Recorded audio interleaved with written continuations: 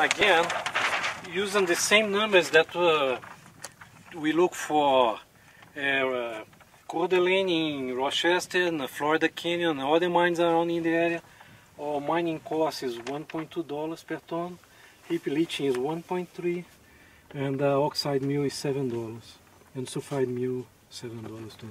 And recovery probably 75 and 90 percent.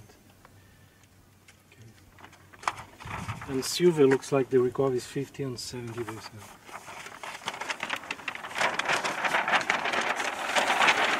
Right now this is the pit design, okay, and uh, we have exploration targets in this area and uh, this area. Besides Independence Hill that is not showing here, that is here. Okay.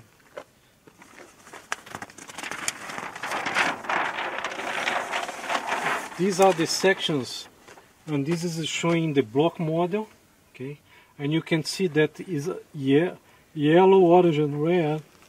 Yellow start with 0.3 grams orange with 0.5 and 1 gram this is a big area and uh, it's almost in surface. And 0.2 grams is in green it with surface.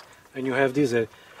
this little hill inside of the pit we don't have drilling that's another thing. We are going to test this drilling to see if we can incorporate. Okay.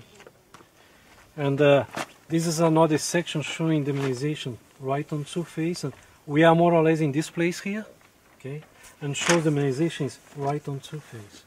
And again there are not a lot of drill there are almost no drilling here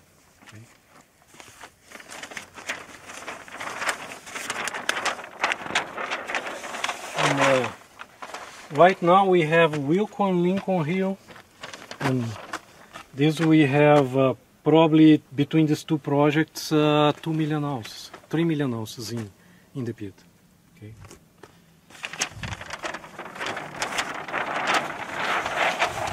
And again this is uh, the resource area in plan view and uh, this is the little hill that I show in the sections that we don't have drilling here that's what we are planning to drill. And this is the size of our targets in the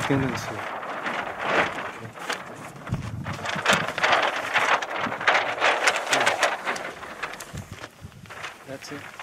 Okay.